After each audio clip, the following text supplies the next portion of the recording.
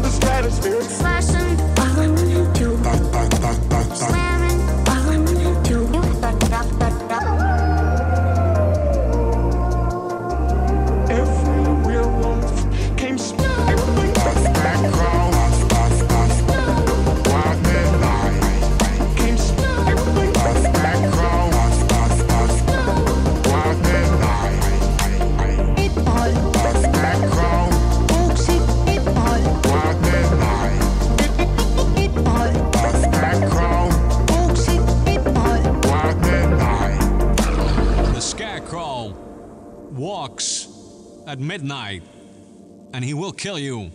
You will die